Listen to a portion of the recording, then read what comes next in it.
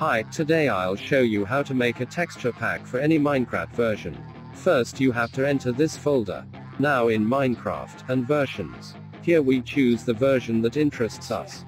We open this file with WinRAR. Now you are making a new folder and copying to it assets. Now you need these two files, you can copy them from some texture pack downloaded from the internet. You need to copy these files to the previously created folder. One file is an icon and the other is a subtitle. Now you open your logo in some graphics program and draw whatever you like. When you're done, save and close.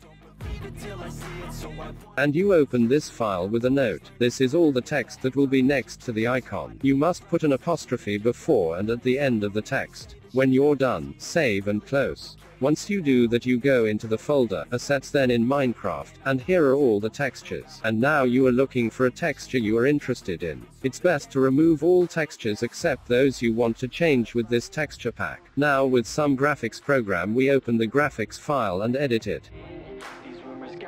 When you're done, save and close.